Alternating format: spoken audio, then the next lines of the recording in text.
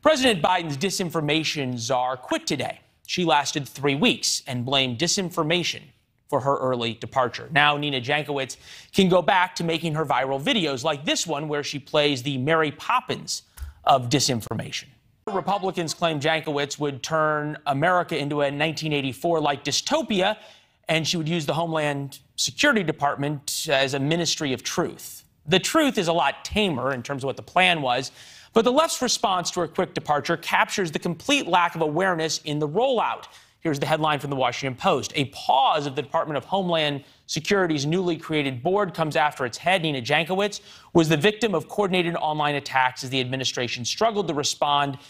It's an article written by none other than Washington Post reporter Taylor Lorenz. Lorenz's dispatches tend to be long on lecturing mid America and short on understanding what real America is about. It's hard to understand how the minister of disinformation accepted a job if she couldn't even deal with disinformation about herself. Put that aside for just one second. The Biden administration, though, picked her, even knowing about the video. Didn't help, nor did Jankowicz's tweet talking about Hunter Biden's laptop quote from hell, referring to it as disinformation. Never mind, it turned out to be true. She did get a New York Post front page out of the deal. Big Sister is watching you. Biden unveils disinformation board with Hunter Denier as its leader. Jankowicz leaves the disinformation board after just three weeks. That's slightly less than the equally bad idea of CNN Plus that lasted a month.